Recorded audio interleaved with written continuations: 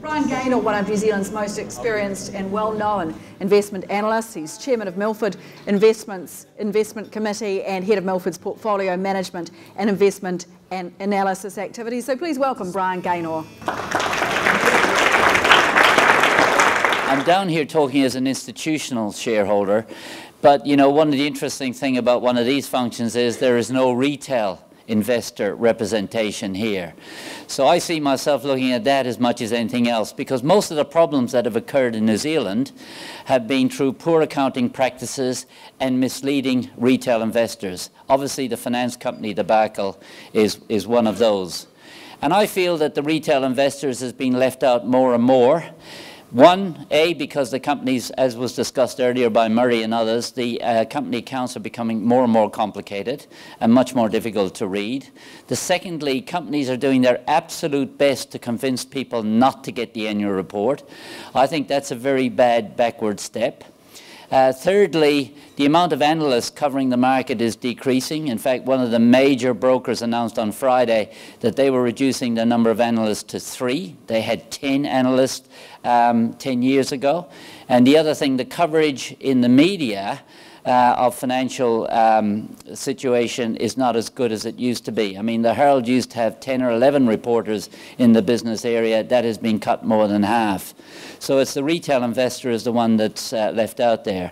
The second thing I want to say is that when I'm talking, I divide this into two different areas. I look at the one area which, of course, is most of the discussion today is the audited NZ IFSR accounts. I'm looking more at the way those are interpreted and presented by companies. And there's a huge gap between the level of uh, profitability that is reported through the NZIFRS and those which the companies are highlighting and presenting to the investors and shareholders. I mean, for example, if you look at this here, we're having a huge variety. We'll be like Heinz 57 varieties in a few years' time. The different level of profitability that are being presented. We have NZ IFRS, we have normalized profits, we have underlying profits. I meant to put adjusted profits there at the, at the bottom. So we have all different kinds of profits. And these are the ones that are being highlighted. For example, you take one of our major companies, and its annual report came out there about two weeks ago. And in the very front, it has a page with huge, big, blazing figures about the profitability, the number, and the increase it has been over the previous year. It bears no resemblance to the actual audited accounting figures that are included later in the annual report. So we're getting totally different presentations. And to me, that means something is wrong with accounting if the companies don't believe the actual 60 or 70 pages of audited uh, financial statements is inaccurate, so they're putting in their own interpretation of that and giving you a different figure. That's a sign that something is wrong with our accounting policies and the way we're presenting them. The other thing is too the way the companies, more and more companies are beginning to use PR departments to present their results to the public and to investors. These are some of the headings that have been on the top of some of the profit announcements that were released in the last two or three weeks. Record earnings in Australia, growth progressing in other markets, yet the net earnings were down 99%. Increase in revenue and operating profit. Net earnings were down 31%. Solid financial performance overshadowed by regulatory unconcern. Earnings down 13.5%. Meeting customers' demand, whichever, whatever that means. Net earnings down 17%. And growth remains strong. Net earnings down 6.1%.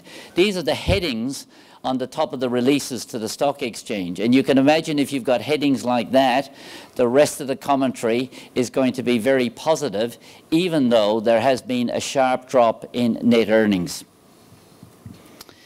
I picked out Telecom. Telecom is one of our major companies, just to show you a set of some figures there. On the top is the NZIFRS earnings, and these are the figures that are, appear in the audited accounts.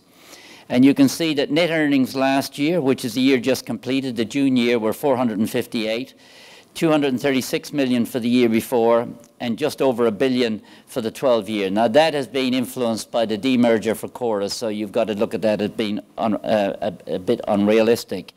But these are the figures that the company actually reports. It says that they made 323 last year, now, interesting enough, they say it's up 19.6%, yet the figure they gave us last year on the same basis, which was their adjusted earnings, was 342. And this is, a, this is something that I find pretty distressing, that is happening with great regularity. A company gives you a figure one year, then the next figure, it gives you a comparative, it gives you this figure on the same basis, but adjusts the previous year's figures down so it can say we've increased our earnings by 19.6%. This is becoming more and more common in New Zealand. The constant readjustment, even though meant to be on the same basis of prior year figures, to give a positive percentage increase for the year just completed. I've just picked out one company. I've written about this before, and it's a good example of that. I find PGG Wrightson, and of course, this is where NZ IFRS doesn't really work very well. It doesn't very well work for kind of agricultural companies, whether they be the wine companies or whether they be companies like Scales Corporation, because the accounting policies are really considered by most of the companies operating in this area as not being appropriate for their businesses. So these are the kind of figures for the June uh, 2014 year that PGG Wrightson released. The media release said earnings were 42.3 million, up 187.8%. That was the headlines. However, the official release to the stock exchange had the same figure for net earnings, 42.3 million, but it said that the, that the profit was up 113.8%. The NZIFRS release said that the net earnings were 38.7 million compared to a loss of over 300 million in the previous year. And the broker report, uh, PGG Wrightson used to be covered quite extensively by brokers, but it's only covered by one broker now. They consider that the net earnings are 28.7 million, up 16.7%. How can retail investors ever come to terms with how well companies are performing if you have such a wide range of earnings figures being interpreted by different sources? And this PGG Wrightson may be an extreme, but it's very common to see a whole pile of different figures, particularly from broker analysts, being the figures that they consider to be the net earnings. Only in the last five or six or ten years we had the finance company debacle. And, you know, I'm being sued by one of the uh, chief executives of one of those companies because I stated that the company didn't clearly state that uh, interest was being capitalized. Yes, it was at the bottom of page 63 of their uh, prospectus, but it was nowhere near the front of their prospectus. And I think if people had understood that the way the accounting policies were being interpreted by the company in terms of capitalized interest, there would have been a complete different reaction to the company. So, you know, it, we failed retail investors because of the way um, the interpretation of the capitalized interest on all these finance companies was dealt with. It was in some of the accounts and it was in page 63 and page 64 as a note at the bottom, but it wasn't highlighted at the front. The front was highlighted about secured debentures, secured lending, um, very little uh, bad debts, people were repaying their loans. Whereas in actual fact, the reality of the situation was absolutely, completely different. So what are the, um, what are the solutions? Well, for someone like myself who's been around a long time, it's been very disappointment the evolution that has occurred in New Zealand. I can remember with great excitement the Financial Reporting Act 1993. We looked upon that as being the panacea for changing the situation in New Zealand where our accounting policies weren't up with the play and weren't giving a true picture of what was happening to investors. And yet the Financial Reporting Act was repealed by the Financial Reporting Act 2013 and we're still standing here today saying we're not giving the right information. Um, and I liked the suggestion one of the, the previous speakers is saying you have to determine what are the most important things for the investor or the person who is reading that financial document. It is no good producing a 500 uh, page document for the demerger of Chorus and Telecom because it's not being read. The same with the Mighty River Prospectus and also the Meridian Prospectus. They were far too detailed. These voluminous documents that no one's going to read. It's, you have to give to people the kind of information that makes it important to them, that they make their decisions on. Reporting consistency between NZ, IFSR and media commentary. I don't know how we bridge that gap because it's now becoming so different. In fact, of the 29 companies that reported in the NZX um, uh, 50 index for the June um, 2014 year, 20 of them had different earnings than the NZ IFRS earnings. So two-thirds of our companies are saying that the earnings that are reporting through our conventional accounting policies do not give an accurate picture of how we have actually performed. There's something wrong when that happens. There needs to be a clear uh, explanation of the differences between the profit figures. And in many cases, there isn't. I mean, some of the accounts that are pre being presented, I give up, and I think I'm reasonably good at reading financial statements because I just can't get my head around of how they get from figure A which is the NZ IFRS figure, to the figure that they consider to be the adjusted figure and which they quote their earnings per share on. What is the role of auditors? I mean, this is a serious question. Do the auditors just cover the actual statutory accounts, or should they have any oversight of the way the company interprets those accounts? Now, my understanding at New Zealand at the moment and most other places, the auditor's role stops with the statutory accounts, It's for them to review that.